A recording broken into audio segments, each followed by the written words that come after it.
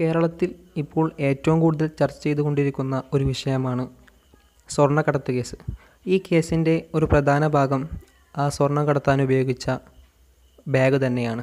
ആ ബാഗിന്റെ പേര് diplomatic bag എന്നാണ്.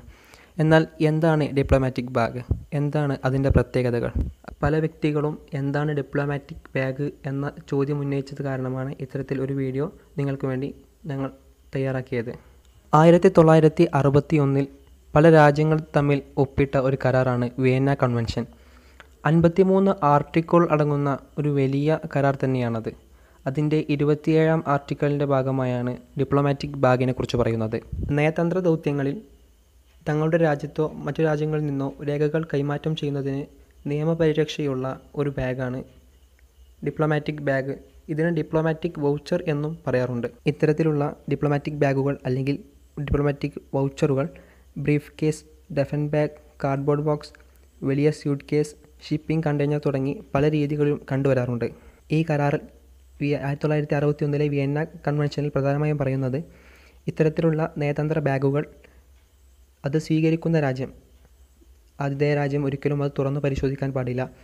അത്തരത്തിൽ തന്നെ എന്തെങ്കിലും സംശയാസ്പദമായി തുറക്കേണ്ട സാഹചര്യം വരികയാണെങ്കിൽ തന്നെ അതത് രാജ്യത്തിന്റെ കോൺസുലേറ്റ് ഓഫീസറുടെ സാന്നിധ്യത്തിൽ മാത്രമേ അത്തരം ബാഗുകൾ തുറന്ന് പരിശോധിക്കാൻ കഴിയുകയുള്ളൂ. സാധാരണയായി ഇത്തരം ബാഗുകളിൽ നയതന്ത്ര പ്രാധാന്യമുള്ള കത്തുകൾ രേഖകൾ എന്നിവയാണ് കൈമാറാറുള്ളത്.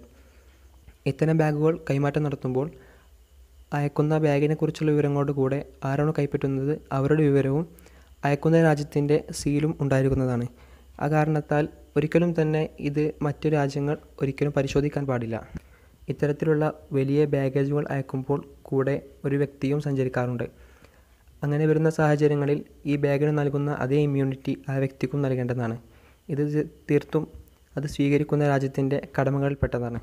ഒരു രാജ്യവും സ്ഥാനപതി കാര്യാലയവുമായുള്ള ഇടപാടായതിനാൽ തീർച്ചയായും നിർബന്ധമായും ഇത്തരം ബാഗുകളിൽ രാജ്യത്തിന്റെ മുദ്ര പതിപ്പിക്കേണ്ടതാണ്.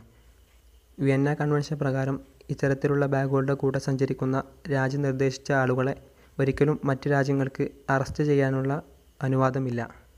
ഇത്തരത്തിലുള്ള ബാഗുകൾ ലക്ഷ്യസ്ഥാനത്ത് എത്തുന്നതുവരെ അതിനുള്ള പൂർണ സുരക്ഷ ഏർപ്പെടുത്തൽ അത് സ്വീകരിക്കുന്ന രാജ്യത്തിന്റെ കടമയിൽപ്പെട്ടതാണ്. ഇത്തരത്തിൽ വ്യത്യസ്തമായ വീഡിയോകൾ ലഭിക്കാൻ വേണ്ടി ഈ ചാനൽ സബ്സ്ക്രൈബ് ചെയ്യുക.